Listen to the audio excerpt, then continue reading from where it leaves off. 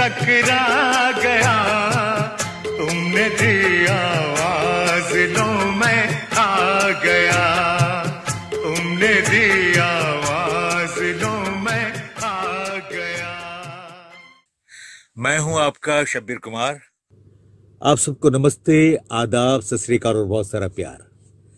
आप देख रहे हैं यादें फर्रुख विकार के साथ और इन खूबसूरत यादों में आप खो जाइएगा। इस वक्त मुझे देखने वाले सुनने वाले तमाम सामाइन को और म्यूज़िक के चाहने वालों को मौसीकी के चाहने वालों को प्यारे भाई और बहनों को और तमाम संगीत प्रेमी जनता को शब्बीर कुमार का आदाब नमस्कार अस्सलाम वालेकुम सत श्रीकार और बहुत बहुत प्यार तो आइए शबीर साहब चंद बातें करते हैं पद्मश्री हाजी मोहम्मद रफ़ी साहब के बारे में। मेरा सबसे पहला सवाल ये है कि आपके दिल में रफ़ी साहब की चाहत कब क्यों और कैसे आई?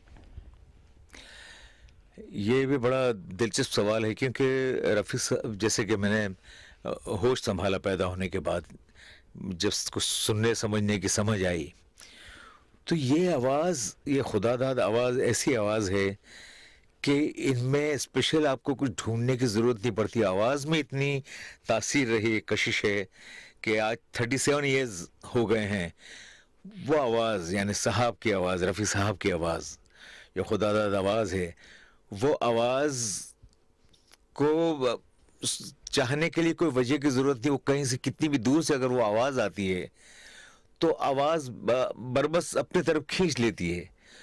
तो बचपन से उस आवाज़ की कशिश में खींचता चला गया और दीवानगी बढ़ती चली गई और बचपन से मैं साहब का शहदा ही रहा हूँ। और उन्हीं की बदौलत आज मैं इस मुकाम पे पहुँचा हूँ कि मैं आपके आपसे रूबरू हूँ। तो ये रफ़ी साहब के बारे में मैं बहुत सालों से बहुत कुछ कहना चाहता हूँ और बहुत कुछ कहता हूँ, कुछ ढूंढ ढूंढ के भी कहता हूँ कि कोई किसी मैगजीन में अच्छा कोई ऐसा उनकी शख्सियत को सही फिट बैठे, ऐसा कोई अल्फाज मुझे मिल जाए, लेकिन अब तक मैं महरूम इस बात से कि इतनी सारी तारीफ़ करने के बावजूद लगता है कि नहीं, बहुत कमी है। क्यों? कि फिर मुझे मनमोहन देसाई साहब प्रोड्यूसर निर्माता प्रोड्यूसर साहब की बात आ, मैं यकीन आता है कि वो कहते हैं ना कि मोहम्मद रफ़ी साहब की आवाज़ अल्लाह की आवाज़ है। अगर अल्लाह ताला गाते गुनगुनाते तो उनकी आवाज़ कैसी होना चाहिए? तो फ़ौरन ख्याल जाता है रफ़ी साहब की आवाज़ के लिए। और सबसे बड़ी बात यह है कि ये कि ये अल्लाह ने सारी कायनात बनाई हम सबको पैदा किया और दुनिया की अच्छी से अच्छी बेहतरीन नेमतों से हमको नवाजा और उसके बावजूद उनको लगा कि अब क्या दूँ मैं क्या दूँ? वो देता ही रहा और देता रहेगा ऊपर वाला। तो उसने बोला कि अब मैं अपनी आवाज़ आवाम को दे देता हूँ। तो रफी साहब की शक्ल में एक इंसान को उतारा और सब ऐसा लगता है कि रफी साहब की शक्ल में एक एक फरिश्ता सिफत शख्स को, इंसान को भेजा इस सरजमी पर और अपनी आवाज़ उनके गले में डाल दी। क्योंकि ये चीज़ एक सवाली निशान है साहब, कि रफ़ी साहब जिनको दुनियादारी से कोई लेना देना नहीं, और जिस तरह के आज के यंगस्टर जो दुनिया में हर तरह के शो करते हैं, ये करते हैं कोई शौक नहीं ना पान का ना सिगरेट का ना शराब का न कोई आवारे गिरदी एक एक उम्र होती कि हम लोग करते हैं कुछ इश, थोड़ा इश्किया होते कुछ रंगीन मिजाज होते हैं।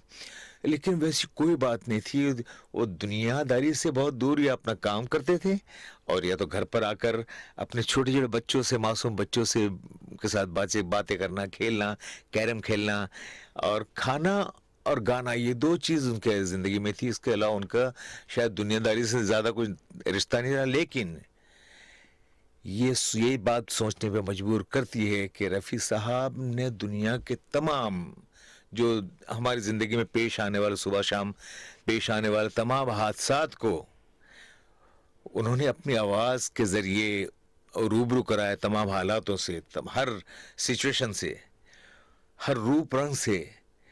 जिन्होंने मैं पहले कह चुका जिन्होंने दुनियादारी के बारे में उनको को, कोई इल्म नहीं था।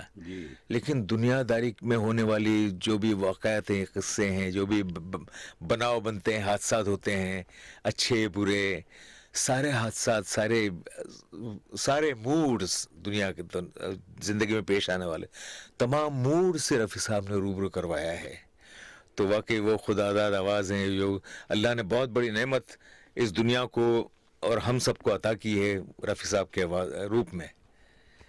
तो रफ़ी साहब के बारे में कुछ कहूँ, वो लफ्ज़ मेरे पास नहीं निकलता, लेकिन यही है कि जैसे लोग कहते हैं कि भगवान अगर गाते, अल्लाह ताला की आवाज़ अगर वो गुनगुनाते तो क्या गुनगुनाते?